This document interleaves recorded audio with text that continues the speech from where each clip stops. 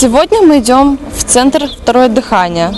Э, Мы организуем праздничный обед для пожилых людей, которые там проживают и пользуются услугами данного центра. Э, Это, этот обед не приурочен к чему-то, мы просто хотим порадовать э, пожилых людей, подарить им немножко частичку счастья, частичку добра. Наш, и наша акция... Вы это кто? Вы Наша говорите, организация «Добрая Молдавия» обычно проводит акции приурочено только к 9 мая. А так мы проводим раз в месяц, ну максимум раз в два месяца э, какую-то акцию. Или мы идем или в какие-то детские дома, детские центры, или в э, семьи, которые нуждаются в о помощи. Иногда люди нам сообщают, что у них, например, соседям каким-то очень тяжело, кому-то там, не знаю, дрова купить или еще что-то. Э, Мы нашу акцию проводим так, где-то за 2-3 недели мы сообщаем о нашей акции. У нас есть официальная группа, официальный сайт в интернете. Мы э, таким образом распространяем информацию через э, интернет. Э, также иногда развешиваем объявления и просто э, пишем людям бельским, рассказываем им. И, отз- и обычно очень, как ни странно, очень много людей отзываются. э, Откликаются обычные откликаются. люди или, скажем так, бизнесмены или какие-то организации? Вот кто откликается на Всегда ваш от- призыв? Как всегда откликаются просто люди. Пока Обычные люди. обычные люди, Как да. ни странно. А, вы- а у вас нет такого желания, да? У нас есть очень много крупных организаций. Вот даже сейчас у нас здесь проходит э, выставка Экспо, и там очень много руководителей. Вот я вам... Оба-на! Вы... Ё-моё! И у нас здесь очень много руководителей, скажем так, да, вы могли бы вот обратиться к ним э, за помощью, потому что вам тяжело, да, обычные люди Ну да, не могут такую тяжело, помощь оказать, да. У нас даже есть, скажем так, в нашем городе есть Рената Усатый, такой крупный бизнесмен, который очень, э, вот ему нравится помогать людям. Вы могли бы обратиться, может, за помощью, и он вам окажет какую-то материальную или какую какую-нибудь поддержку.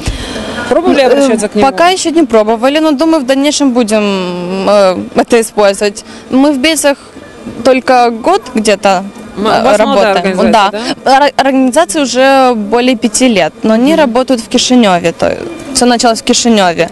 Э, Я случайно наткнулась на эту организацию, ездила туда на акции, и мы решили открыть, так скажем, ячейку или филиал тут в Бельцах. Поэтому здесь у нас нас еще не все так хорошо знают, не так э, Ну, мы знакомы. Не, не доверяют вам, да? Да, многие люди переспрашивают, не очень доверяют. Хотя любой может поехать на любую нашу акцию. И все, всё- вся наша деятельность, э, мы выложиваем и фотографии в интернете. У нас все официально. Все чеки мы сохраняем, все, что мы тратим, все идет официально.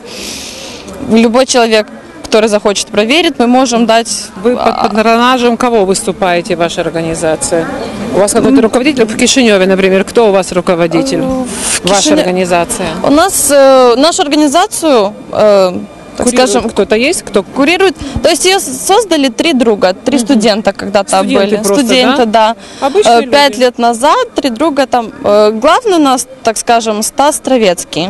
Он сейчас в основном нас курирует. Но, в принципе, мы все отзываемся, мы общаемся в скайпе или делаем какие-то собрания, обсуждаем мероприятия, которые мы будем делать все вместе. Хорошо, вот вас, э, э, сколько у вас в организации у нас в? Здесь в Бельцах нас э, семеро, восемь человек уже. Да? Да, Ну, официальных. Официально, девочки, вот я смотрю, что вы участвуете в этой акции. Вы вот сами вносите какой-то, скажем так, вклад? Вот вы, видите, вы ищете людей, которые помогают. Вот вы сами что-то туда, вот денежный, скажем, вклад или просто какие-то продукты, вот идя на это мероприятие. Конечно, каждый раз на каждую акцию мы и деньги складываем, все, и Сами, продукты сами, да, и, и другие помогают, но мы тоже сами вклад мы вносим.